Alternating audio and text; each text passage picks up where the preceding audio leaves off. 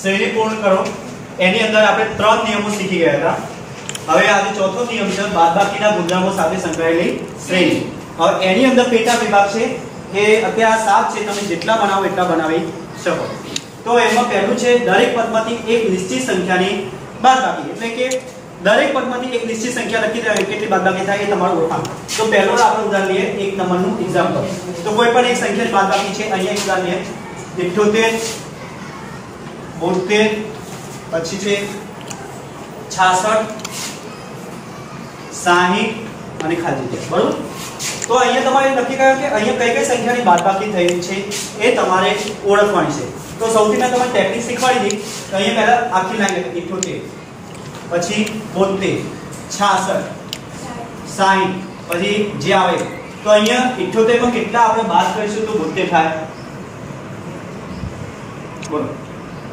78 માં કેટલા બાદ કરીશું તો આપણે બોતેર થાય ઘટાડો છે સીધું છે મગજ દડાવો છ તો એ 78 માં આપણે 6 બાદ કરીશું તો 72 થાય હવે 72 માં કેટલા બાદ કરીશું 66 થશે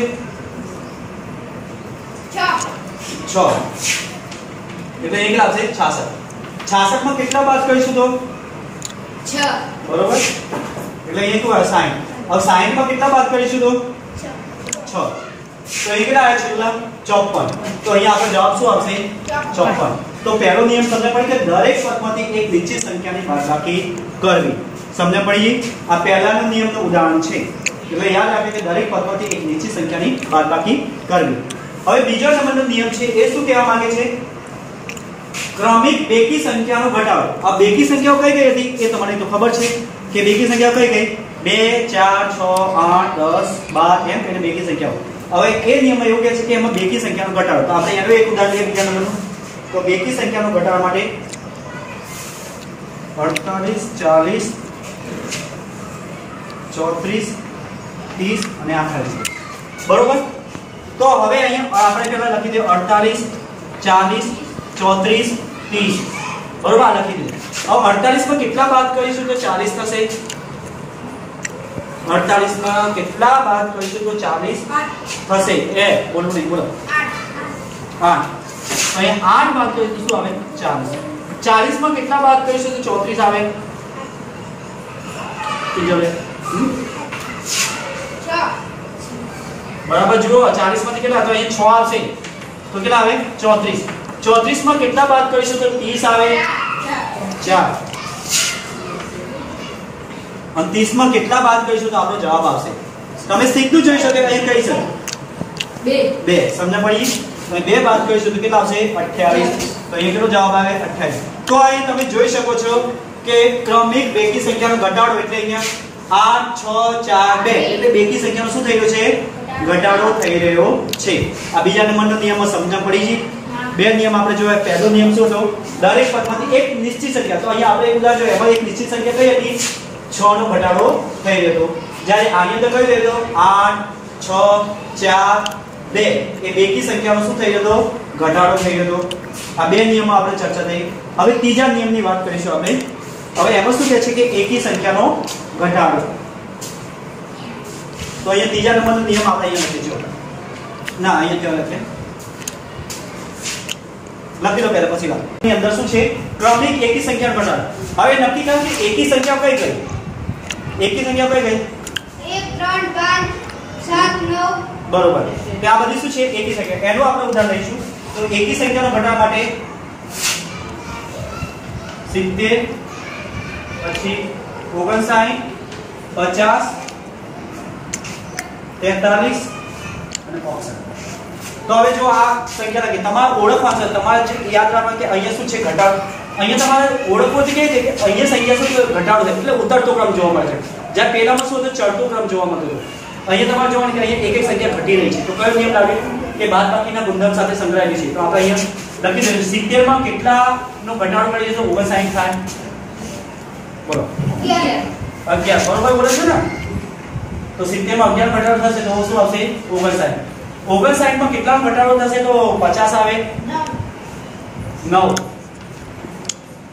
50 માં કેટલાનો ઘટાડો કરીશું તો 43 આવશે?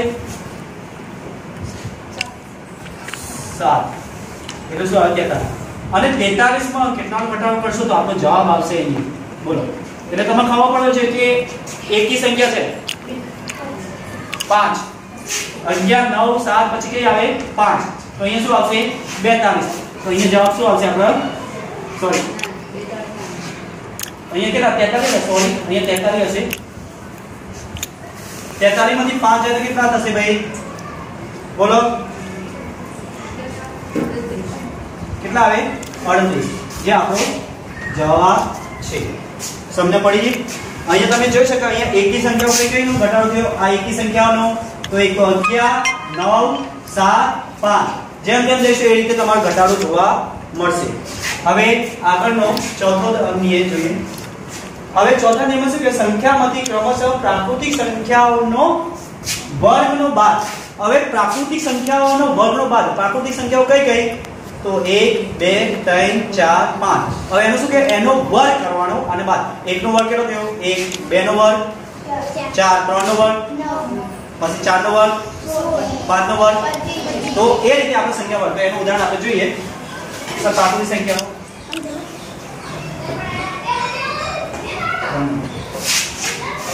ઇઠ્યોતેર સિત્યોતેર પછી તોતેર ચોસઠ અને અડતાલીસ તો અહીંયા પહેલા જોવાનું અહીંયા ઇઠ્યોતેર માં કેટલા બાદ કરીશું તો સિત્યોતેર જવાબ આવશે સિત્યોતેર એક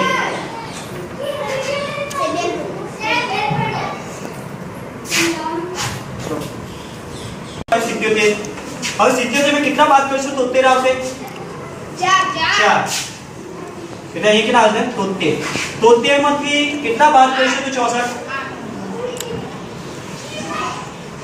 ભાઈ બરાબર વિચારો અહીંયા પ્રાકૃતિક સંખ્યા એડ હશે તો અહીંયા જો 1 નો વર્ગ શું થયું 1 2 નો વર્ગ કેટલો થયો 4 3 નો વર્ગ કેટલો થાય 9 તો 73 માંથી કેટલા બાદ કરીશું તો આવશે તો અહીંયા 9 આવશે તો 73 માંથી 9 જાય તો કેટલા આવશે 64 પછી 64 માંથી કેટલા બાદ કરીશું તો 48 જવાબ આવશે તો અહીંયા તમને ખબર છે 4 નો વર્ગ કેટલો થાય 16 બરોબર તો અહીંયા 16 બાદ કરીશું તો કેટલા આવશે 48 હવે 5 નો વર્ગ કેટલો થાય 25 તો આપણે જે જવાબ 48 પછી કયો છે તો 48 માંથી 25 બાદ કરીશું તો કેટલો જવાબ આવશે 3 23 તો આપણે કેટલો જવાબ આવશે 23 સમજ પડી તો અહીંયા શું કહેવાય ક્રમિક પ્રાકૃતિક સંખ્યાઓનો વર્ગ કહીને એને આપણે દાખલાનો બાદબાકી કરી છે. તમને પડી પહેલા ચોથા, ત્રીજા નંબરના નિયમમાં શું હતું? કે ત્રીજા નંબરના નિયમ ક્રમિક એકી સંખ્યાનો ઘટાડો કર્યો.